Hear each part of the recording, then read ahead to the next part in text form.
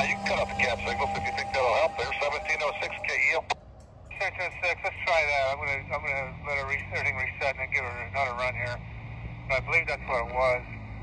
Um, so I cut it out briefly and it, it seemed to correct itself. But then I put it back because I don't have permission. So I'll do it and we'll go from there. All right, bud. Yeah, let me know. Let me know any issues. If you need me to get somebody on the horn, I can uh, give them a best shot, I guess.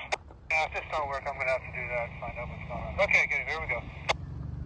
Thank you, bud. All right, yeah.